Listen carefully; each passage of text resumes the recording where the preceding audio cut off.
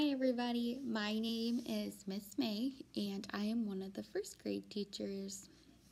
So the story that I'm going to read with you is called The Days, The Day the Crayons Quit by Drew Daywalt and then this little sign says pictures by Oliver Jeffers. Alright, so get comfy, it's, it's a good book. The day the crayons quit. And there's a little sign here that says, We're not happy. One day in class, Duncan went to take out his crayons and found a stack of letters with his name on them. To Duncan. Hey Duncan, it's me, Red Crayon. We need to talk. You make me work harder than any other crayon. All year long, I wear myself out coloring fire engines, apples, strawberries, and everything else that's red. I even work on holidays. I have to color all the Santas at Christmas and all the hearts on Valentine's Day. I need a rest. Your overworked friend, Red Crayon.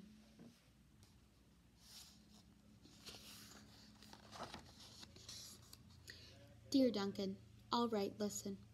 I love that I'm your favorite crayon for grapes, dragons, and wizard hats. But it makes me crazy that so much of my gorgeous color goes outside the lines. If you don't start coloring inside the lines soon, I'm going to completely lose it. Your very neat friend, Purple Crayon.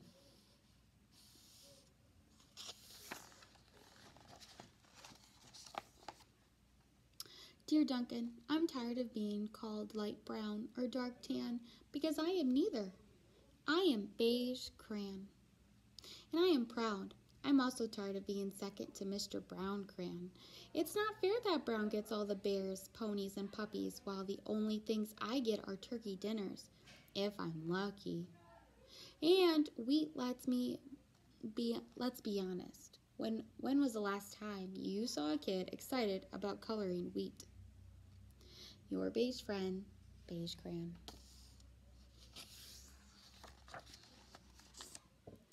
Duncan, Gray Crayon here. You're killing me. I know you love elephants, and I know that elephants are gray, but that's a lot of space to color in all by myself. And don't even get me started on your rhinos, hippos, and humpback whales. You know how tired I am after handling one of those things? Such big animals. Baby penguins are gray, you know. So are tiny rocks, pebbles. How about one of those once in a while to drive to give me a break? Your very tired friend, Gray Crayon. Look, we have an elephant, a hippo, a rhino, and he just wants to color a little penguin.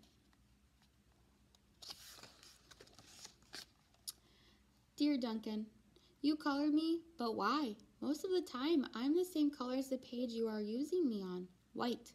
If I didn't have a black outline, you wouldn't even know I was there. I'm not even in the rainbow. I'm only used to color snow or to fill an empty space between other things, and it leaves me feeling, well, empty. We need to talk. Your empty friend, White Crayon.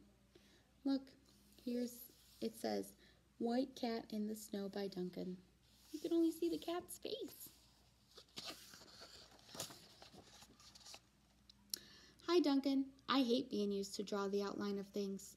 Things that are colored in by other colors, all of which think they're brighter than me. It's not fair when you use me to draw a nice beach ball, then fill in the colors of the ball with all the other crayons.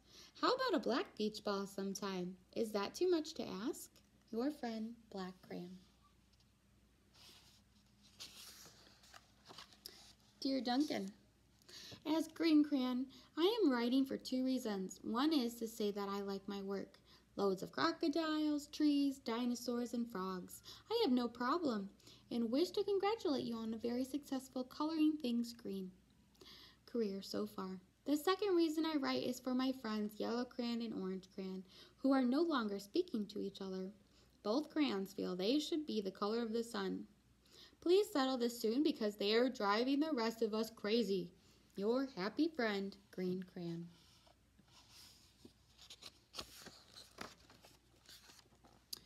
Dear Duncan, Yellow Crayon here. I need you to tell Orange Crayon that I am the color of the sun. I would tell him, but we are no longer speaking. And I can prove I'm the color of the sun too. Last Tuesday, you used me to color in the sun on your Happy Farm coloring book. In case you've forgotten, it's on page 7.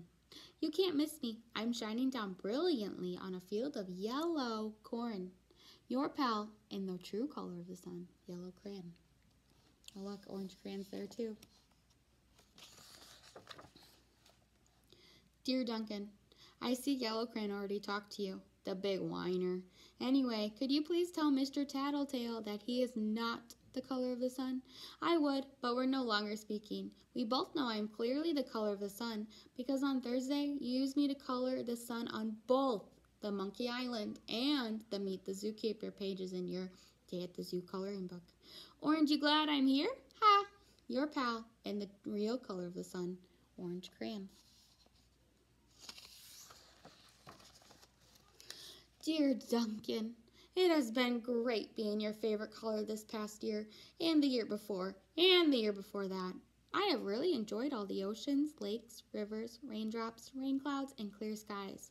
But the bad news is that I am so short and stubby, I can't even see over the railing in the crayon box anymore.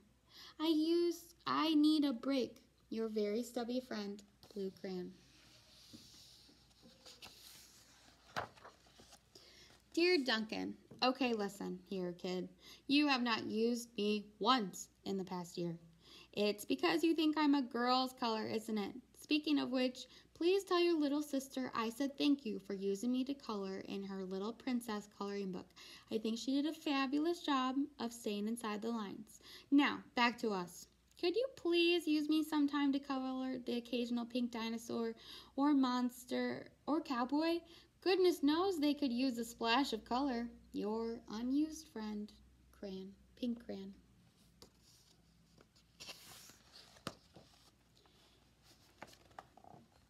Hey Duncan, it's me, Peach Crayon. Why did you peel off my paper wrapping? Now I'm naked. And too embarrassed to leave the crayon box. I don't even have any underwear. How would you like to go to school naked? I need some clothes. Help! Your naked friend, Peach Crayon. There's his clothes, his wrapper. Well, poor Duncan just wanted to color.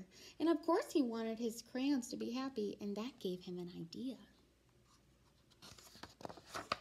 When Duncan showed his teacher his new picture, she gave him an A for coloring.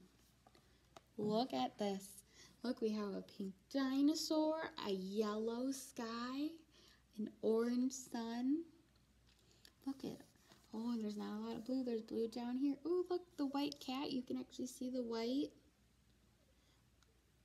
I can see all sorts of things.